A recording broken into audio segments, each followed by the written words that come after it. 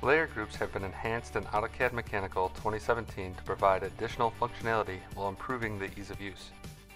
Three new ribbon icons give quick access to the Layer Group Manager, and two new features, Layer Group Isolate and Unisolate. When you have a complex drawing and want to prevent some layers from being edited, the Layer Group Isolate command will allow you to quickly lock and unlock layers. While in the Layer Group Manager, you now have the capabilities to override individual layer group properties, adjust the line types to reflect a phantom part used for reference, or change the line weights. This improved functionality will enhance your productivity with AutoCAD Mechanical.